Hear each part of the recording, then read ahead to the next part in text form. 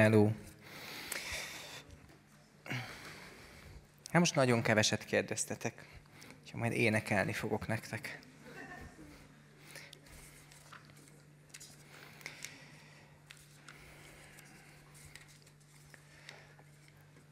De köszönöm, aki bátorkodott.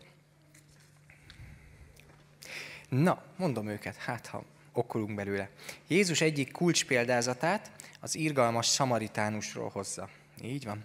A samáriaiak fontosak, a samáriaiak fontosak, vagy mondhatta volna például főnéciaival is. Köszi.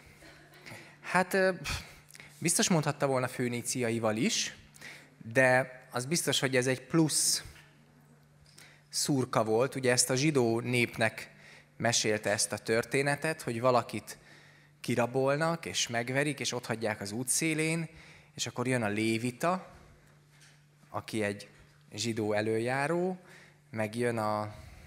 Ki jött még?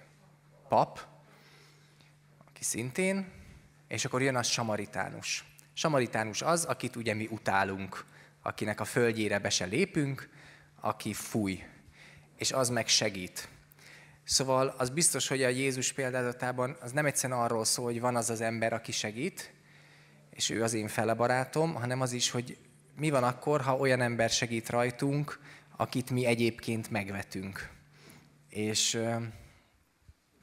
a 70-es években volt egy ilyen szociológiai kísérlet, hogy már nem emlékszem pontosan, hogy volt, de az a lényeg, hogy egy embert bajba került, vagy rablótámadást imitáltak, és már nagyon kilátástalan volt a helyzet, és akkor jött valaki, és az megmentette, és kihúzta abból a cellából, ahova betemették az ablakon keresztül, és berakta a kocsiába, és elvitte a kórházba, és örült neki. És az a lényeg, hogy ez a fickó, akivel ezt a kísérletet csinálták, ez a Ku Klux Klánnak volt a tagja, és egy fekete ember mentette meg. És az egész egy ilyen megrendezett dolog volt, amit a Ku Klux Klán, Ku Klux Klán tagja persze nem tudott, de és azt vizsgálták, hogy ez bármilyen ö, eltolódást okoz-e benne, hogy az előítéletességét meg tudja változtatni, hogy egy, egy fekete ember menti meg őt, aki, ugye ő meg a hobbija neki az, hogy a feketék háza előtt kereszteket gyújtogat meg, megdobálja őket hogy mit okoz ez egy emberbe. És én azért azt gondolom, hogy ennek a példabeszédnek ez volt az egyik lényege, hogy, hogy az az, azok az emberek, akiket ti lenéztek, a samaritánusok, lehet, hogy pont egy olyan ember fog téged megmenteni. Szóval szerintem fontos, hogy ez egy samaritánus volt. Szerintem. Hm? Abszolút, ez most csak így, amikor most így felolvastam, akkor ez így rém. A, a 70-es években volt egy, ez a szociológus, aki most a múlt hétvégén itt volt, az igen, Zimbardo, és itt volt egy konferencián, és ő csinálta például ezt a Strandfordi börtönkísérletet, amikor a diákok egyik feléből börtönőr lett, a másik feléből rab, és akkor összezárták őket, és azt hiszem tíz nap után le kellett állítani, mert annyira eldurvultak. Tehát kicsit, hogyha, és azt vizsgálták, hogyha embereket kiszolgáltató helyzetbe teszünk, másokat meg kiszolgáltatottba. Meg ők csinálták ezt az áramütéses kísérletet is, hogy ha megnyomod ezt a gombot, akkor ezt az embert nem tudom hány voltos áramütés éri. És akkor egy üvöltött. Ez persze kamu volt, de egy idő után az emberek simán halálos adag áramot is beadtak egymásnak. Szóval ezek ilyen nagyon jó pofa kísérletek voltak ott Amerikában a 70-es években, Zimbardó bácsival én azt gondolom, hogy ennek az embernek valószínűleg kicsit megváltozott a véleménye. Egyébként most, amikor itt volt ez a, ez a professzor, volt egy ilyen konferencia, én ott voltam, most ezzel szórakoztak, hogy cégvezetőket beöltöztettek hajléktalannak itt a Rákóczi úton, és kifektették őket az utcára, ilyen bankárokat. Hogy érezzék át, hogy milyen érzés ez, hogy a kutya nem áll meg nekik. És átlépnek felettük, meg levitték őket az Asztóriánál a metró megállóba, tényleg jól lesminkelték őket koszosan, hogy milyen érzés az, mikor, mikor nem, hogy senki nem áll velük szóba, de amikor így érzed azt a lenézést, ami feléd árad. Hogy ezt egy picit így érezzék át ezeknek a nagy cégeknek a vezetői. És, és ennek a kísérletnek most csinálták, Amerikában láttam erről a, a, a filmet, azt csinálták, hogy egy, fogtak egy apát, ez most mennyire nem kapcsolódik a Bibliához, nem mondom, most elmondom. Fogtak egy apát, akinek volt egy családja, és az apát elsminkelték feketévé, meg hajléktalannak öltöztették, és lerakták egy padra azon az útvonalon, ahol az ő családja jár. És aznap reggel a családjával csináltak egy, egy interjút az előítéletességről, hogy ők megállnának-e, ők segítenének-e, persze, persze, persze. Majd szépen elsétáltak a saját férjük meg apjuk mellett, és nem csináltak vele semmit, és aztán a csáv ugye így leöltözött, hogy na anyjuk, hát én vagyok, még rajtam se segítesz. És akkor utána megint vizsgálták, hogy na mennyire vagytok előítéletesek. Ezek jó pofa dolgok. Na, következő. A vérfolyásos asszony hosszú szenvedés után erős hittel és akarattal oda csörtetett Jézushoz, ez jó szó, és az Úr értékelte is ezt a hitet és elszántságot. Na de aki szintén hosszan kínlódik valamivel, és belefáradva már nem képes... Bocsánat. Uh, bocs, mikrofonba. Szóval, na de aki szintén hosszan kínlódik valamivel, és belefáradva már nem képes ilyen hittel kérni, azzal mi lesz?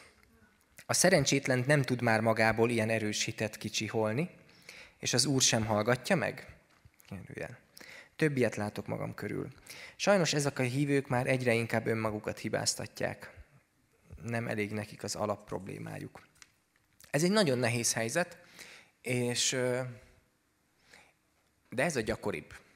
Tehát a, amíg az embernek még újabb problémája, és ilyen óriási hittel és elánnal és tűzzel megy Istenhez, hogy segíts, addig, addig az az érdekes, hogy addig még erősnek érezzük magunkat. Az a nehéz, amikor már belefáradunk abba is, hogy kérjünk. Az a nehéz, amikor már belefáradunk abba is, hogy imádkozzunk, és látszó, látszólag nem történik semmi. És akkor elbátortalanodunk, meg elanyátlanodunk, meg elapátlanodunk. És azt mondjuk, hogy akkor Isten nem hallgat meg, és biztos velem van a hiba, és... És a legtöbb keresztény egyébként itt van. Mert sajnos ez nem úgy működik, ezt biztos tudjátok a saját életetekből, hogy Istenem, ó, segíts, és akkor ő segít. Tehát sokszor nem segít. Sőt, sokszor nem válaszol. És ez borzasztóan frusztráló. És erről pont egy millió bibliaórát lehetne tartani, hogy Istennek az időzítése hogy működik. Ha látjátok a Bibliába, Pál apostol maga írja le, hogy ő állandóan imádkozott azért, hogy múljon el belőle az a tüske amiről megoszlanak a vélemények, hogy mi volt az. És kérte, kérte, kérte, azért Pál csak volt elég jóba Istennel ahhoz, hogy na hát, őt meghallgassák, és, nem, és Isten nem vette el. Ez, ez, ez nagyon-nagyon frusztráló dolog. Én erre nem tudom a választ. De, de ennek a sorozatnak az volt a cím, hogy jöjjetek hozzám, akik megfáradtatok, és én megnyugvást adok. És ez engem nagyon foglalkoztat, hogy nem azt mondja, hogy jöjjetek hozzám, akik megfáradtatok, és én megoldom a problémátokat. Vagy én mindent helyre teszek körülöttetek, hanem hogy én megnyugvást adok. És ez nehéz dolog. Nekem is van olyan nehézség az életemben, amilyen nagyon sokat imádkoztunk, hogy ne legyen, aztán úgy maradt. És most akkor így élünk tovább. Valamit nem gondolom, hogy Isten nem hallgatott meg, azt gondolom, hogy Istennek más a terve. Az, hogy Isten nem válaszol, az egy nehéz kérdés, mert valamiért azt gondoljuk, hogy Isten válasza az az, hogy megoldódik a probléma.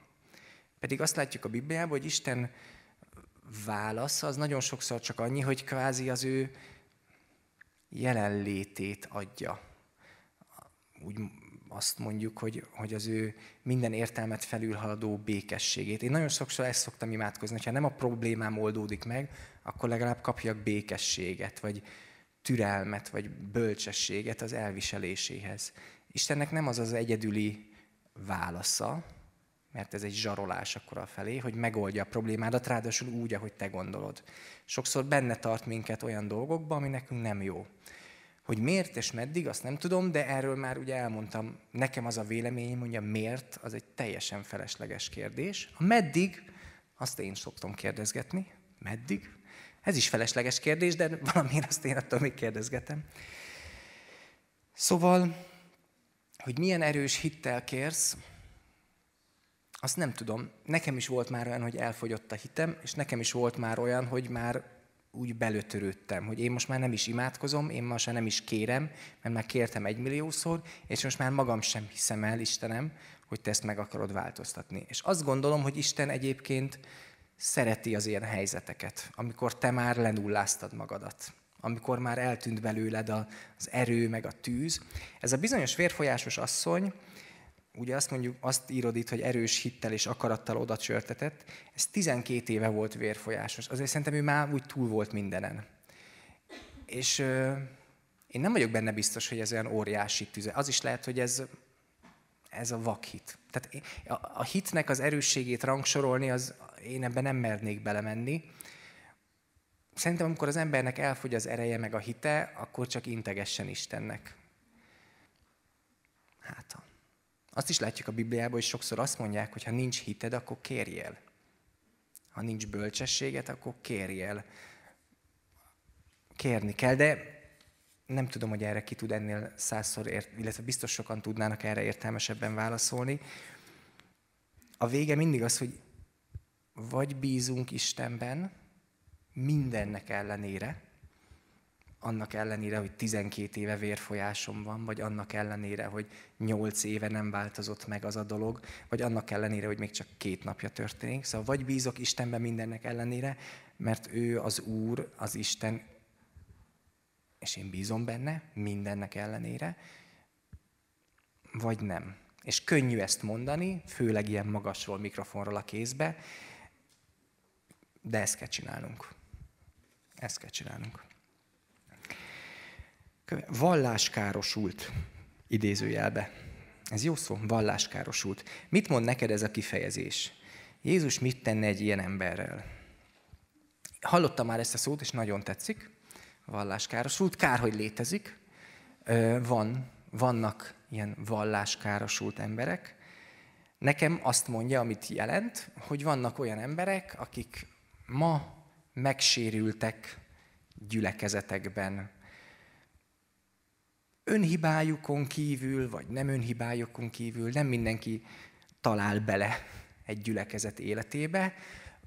Vannak csúnya, gonosz keresztény emberek, akik másokat bántanak, vannak eléggé tökéletlen keresztény vezetők is, akik akarva vagy akaratlanul másokat megbántanak, ebbe van, akik beleroppannak.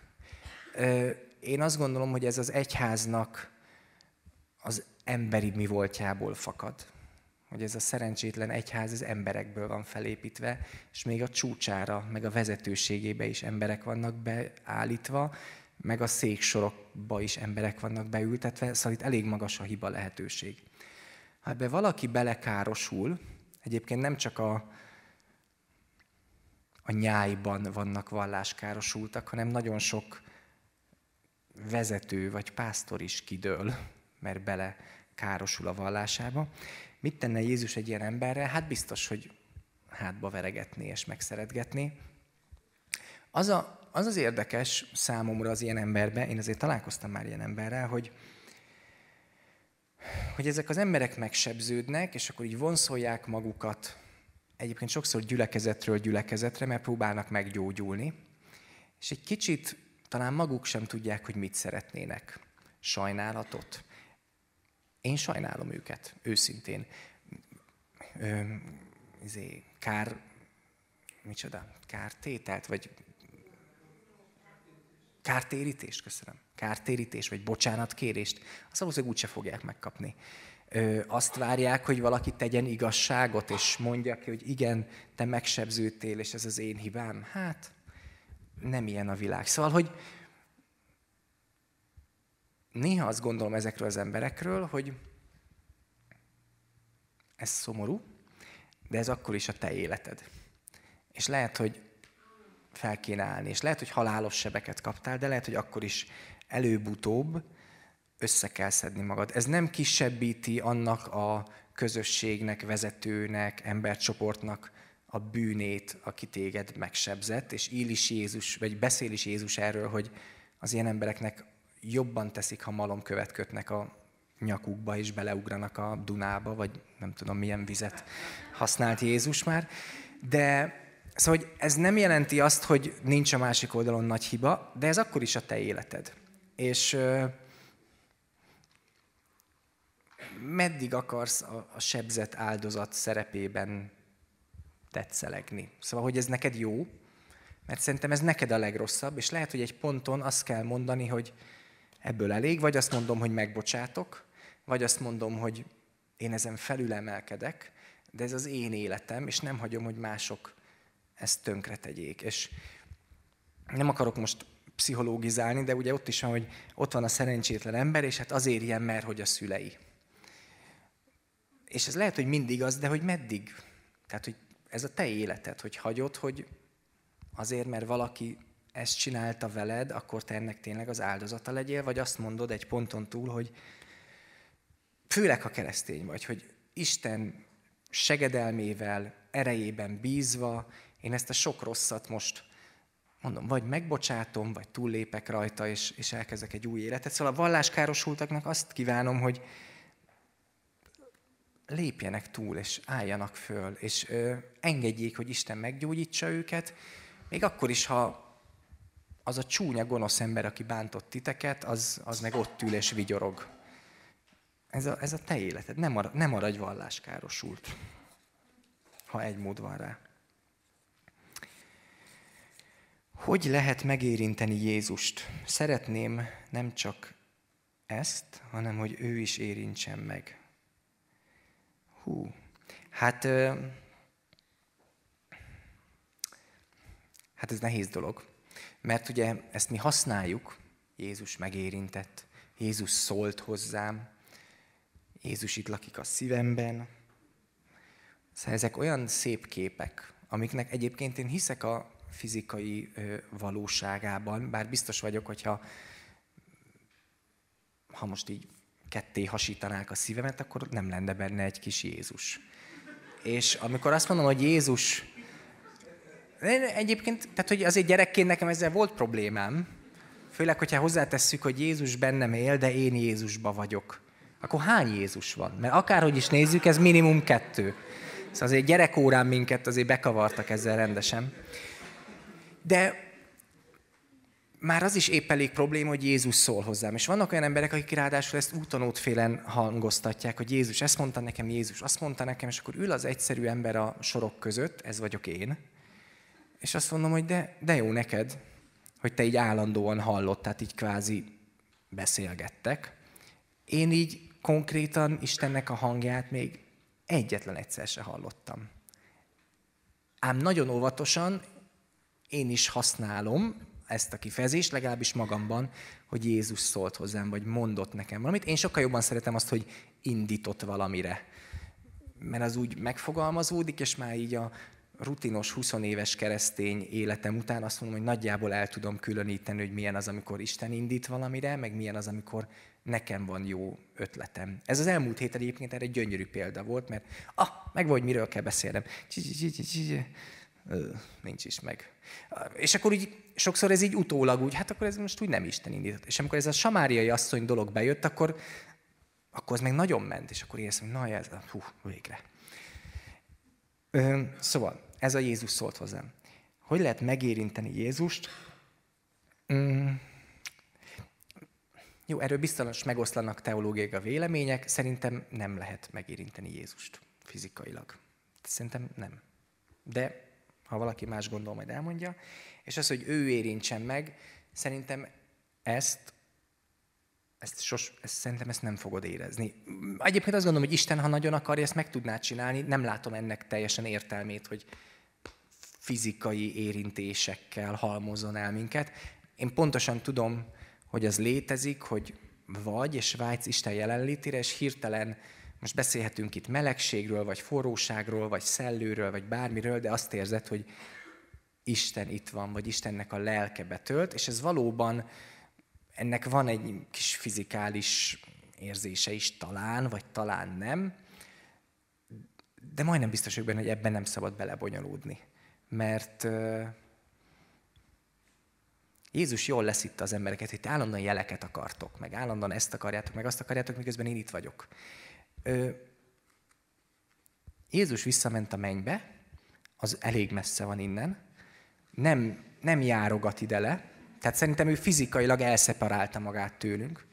Azt olvassuk, hogy visszaküldte a lelkét, ami egy meglehetősen megfoghatatlan dolog. Az ő lelke itt van, effektíve szerintem itt van, meg itt hagyta nekünk, vagy hát szóval van a Bibliánk. És én azt gondolom, hogy nekünk ezzel kell beérnünk.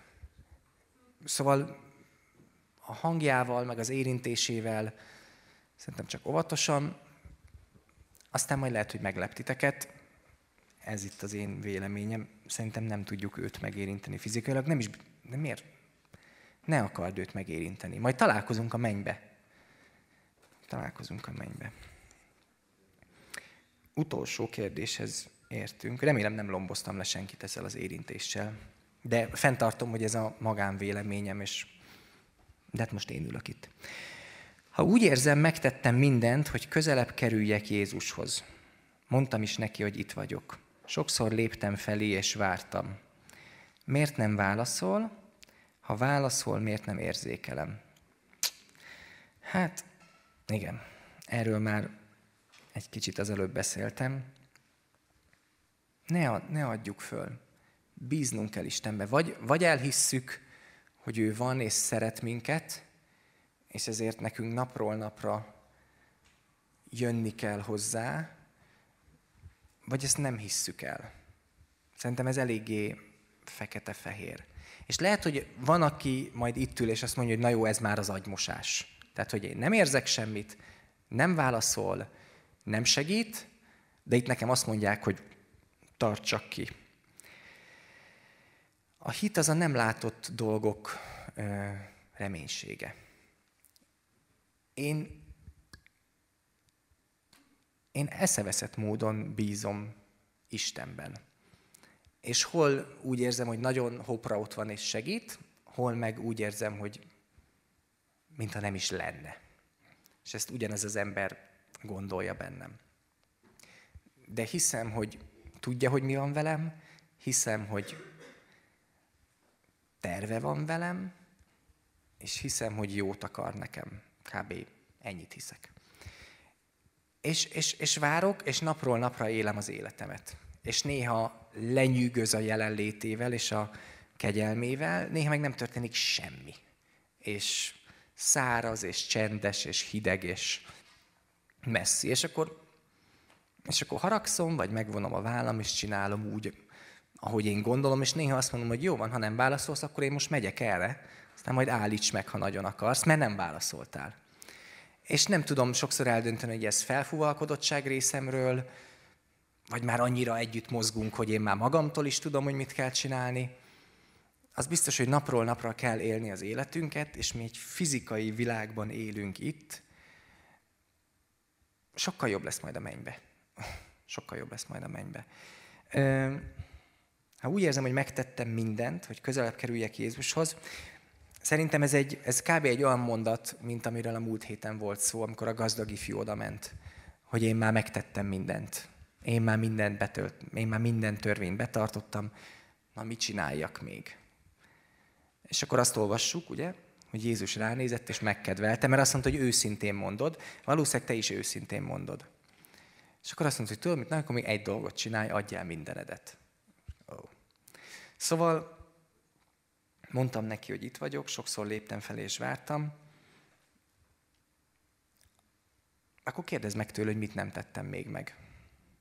Ha úgy érzed, hogy megtettél mindent, akkor, és ő nem, nem, akkor lehet, hogy nem tettél meg mindent. Az is lehet, hogy csak várakoztat. Az is lehet, hogy azt akarja, hogy tűrj, de az is lehet, hogy még nem tettél meg mindent. Nyugodtan kérdezd meg tőle, hogy van még valami, amit nem tettem meg. A múlt héten ugye erről beszéltünk egy kicsit a, a bűnbánat kapcsán, hogy, hogy nagyon sokszor igazából nem tudjuk, hogy mi velünk a baj.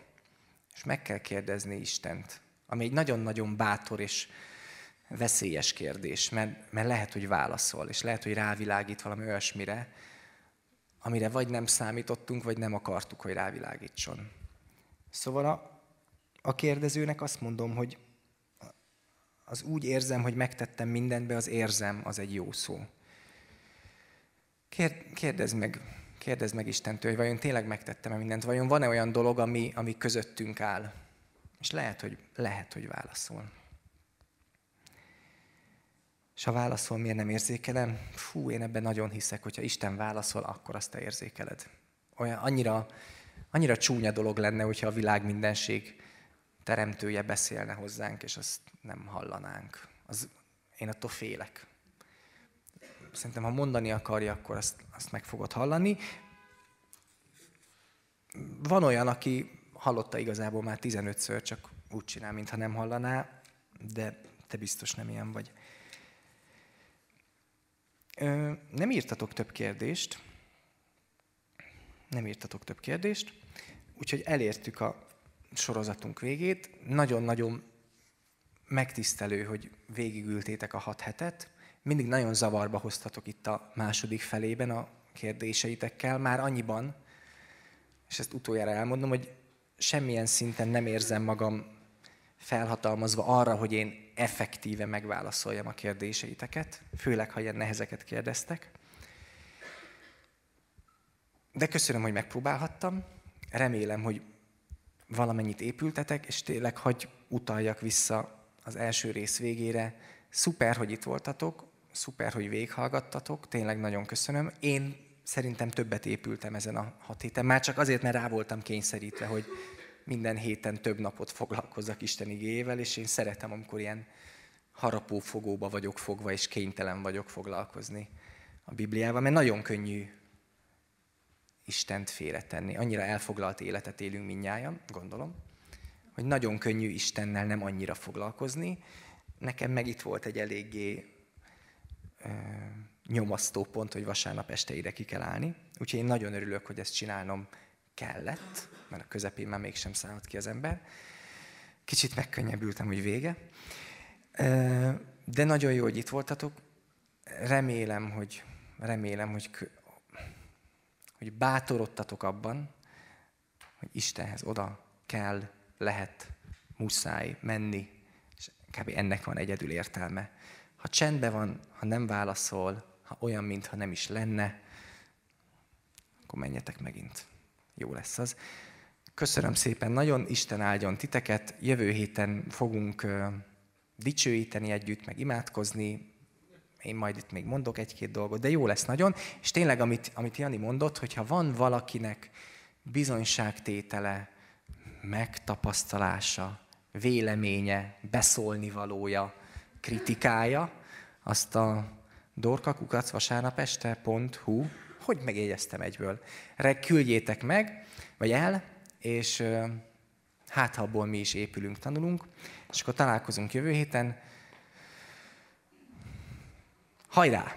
Isten áldjon titeket, csöztök, mehetünk haza.